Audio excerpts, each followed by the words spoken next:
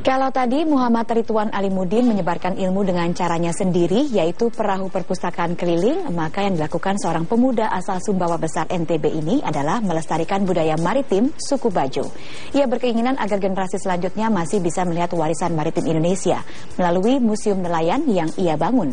Museum nelayan ini menjadi sumber ilmu bagi siapa pun yang ingin mengenal budaya maritim suku Bajo dan budaya maritim Indonesia pada umumnya.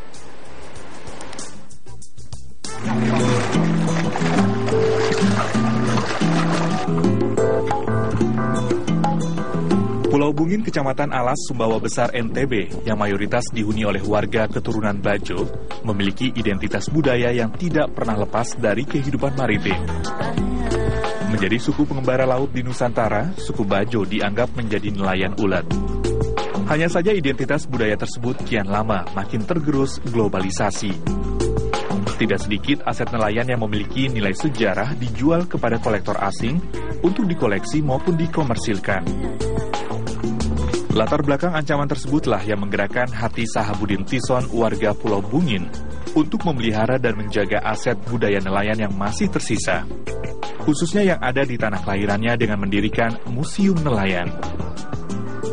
Berbekal kebulatan tekad melalui berbagai donasi dan perhatian pemerintah maupun pihak swasta, Museum nelayan di Pulau Bungin pun dibangun. Di dalam museum tersebut tersimpan berbagai pernak-pernik dan perkakas nelayan tradisional tempo dulu sebelum adanya modernisasi teknologi perikanan tangkap di laut lepas.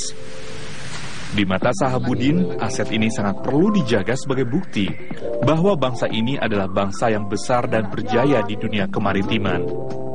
Tentu hal tersebut tidak hanya slogan yang membanggakan diri siapa pun yang mendengar atau mengucapkannya. Termuat dalam kitab navigasi kuno. Nah, seluruh barang-barang yang menyangkut dengan pelayaran zaman dulu, yang menyangkut dengan peralatan tangkap nelayan zaman dulu, kemudian teknologi penyelaman zaman dulu, itu kita selamatkan dan kita simpan di dalam museum nelayan. Museum nelayan ini akan bercerita banyak kepada pengunjung yang datang.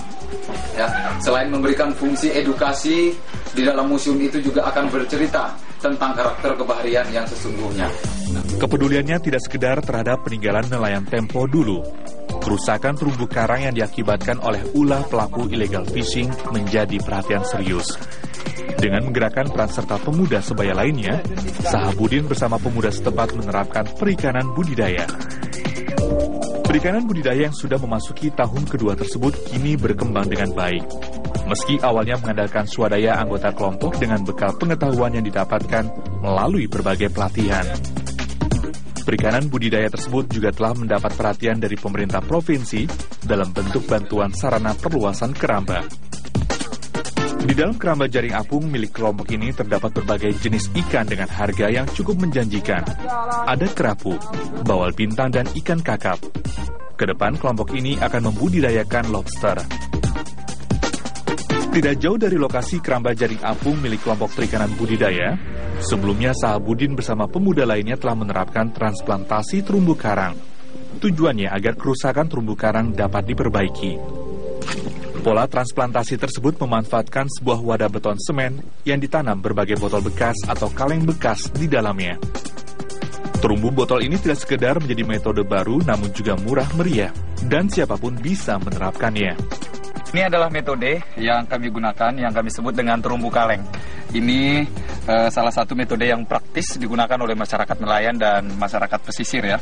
Selain hemat biaya, juga mudah untuk diterapkan.